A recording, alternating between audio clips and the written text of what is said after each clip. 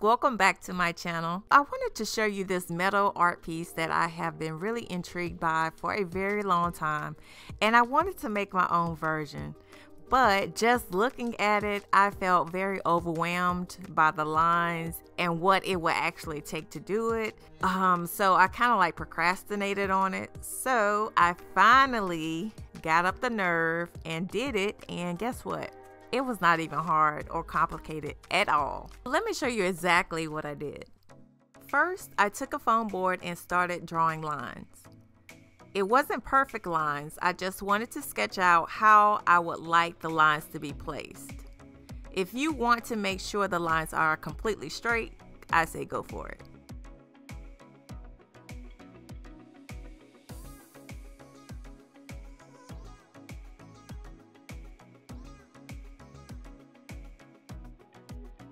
It may be helpful to put the image of your inspirational piece on your phone just so you can refer to it as you're drawing out your lines.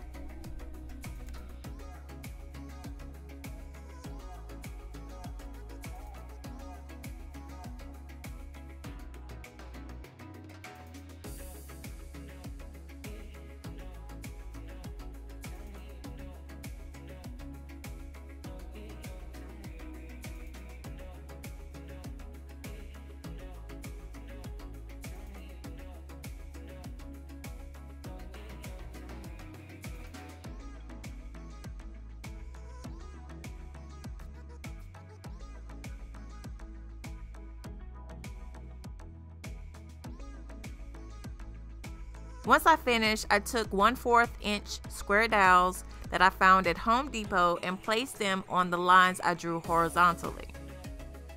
I used 12 dowels for this particular project and they were 98 cents each, which wasn't bad. And it was 36 inches long.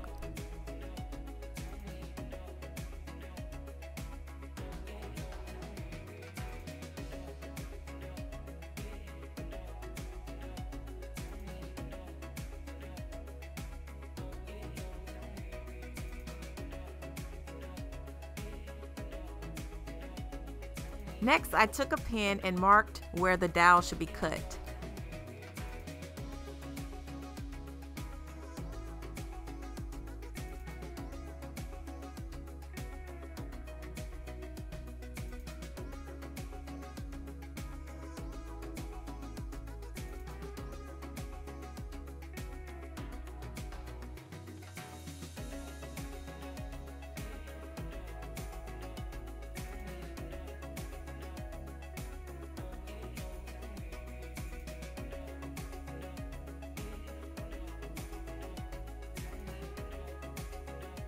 Then I cut each of them down using my miter saw. It literally took me five minutes to finish all my cuts, but if you don't have a miter saw, which I highly recommend, you could also use a miter box and a handsaw. It's very inexpensive to have, and if you don't know how to use one, I'll put the link to a video that I did recently on how to do it um, in the description box below as well as at the top. So right now I am placing the cut dowels on the lines, um, you know, based on their length.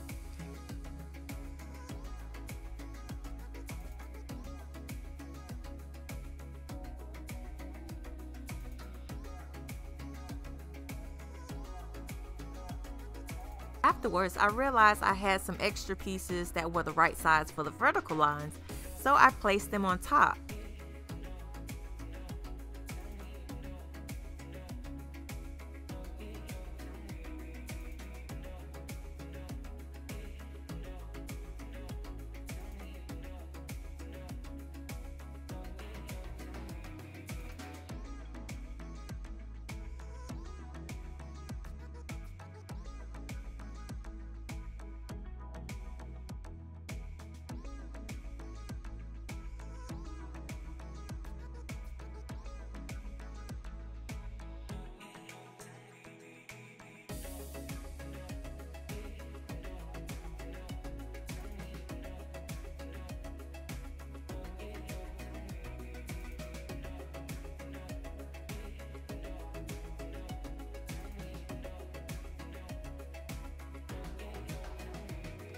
I had a few more dowels left to cut, so I repeated the same process as before.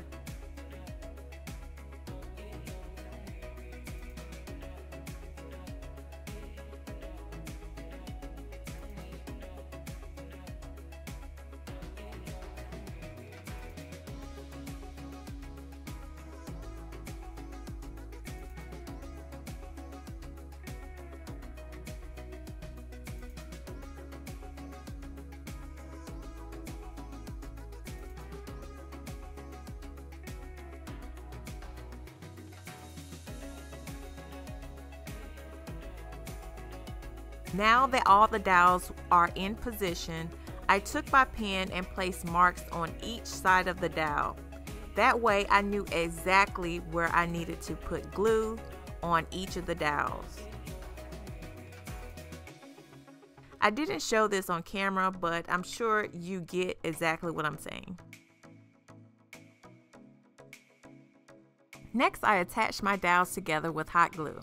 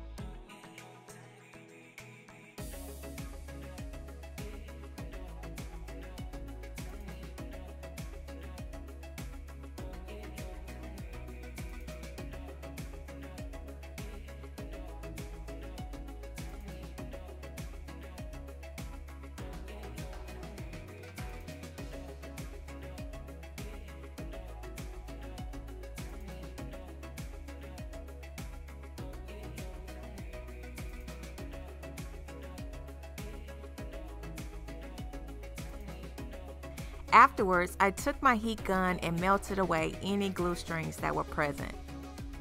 After the glue dried for about 20 minutes, I took it outside and I spray painted it with a silver metallic spray paint. But feel free to use any spray paint of your choice or you can hand paint it. Um, I can see this in a lot of different colors. Check out how light it was.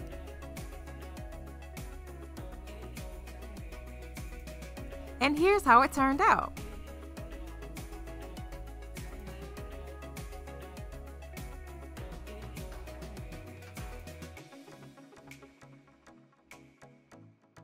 With this particular piece, you have the option of displaying it horizontally or vertically, which is really nice.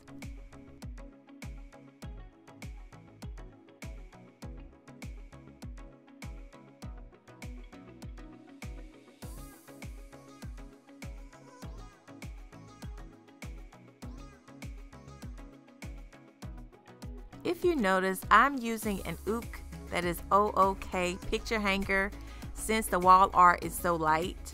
I didn't get a chance to do this, but if you decide to use one, I would highly recommend painting it the same color as your wall. That way no one will really be able to see the hook. If you want to know where to find an ook hanger, I will put the link in the description box below. Hope you guys enjoyed this video and found it to be very helpful and encouraging.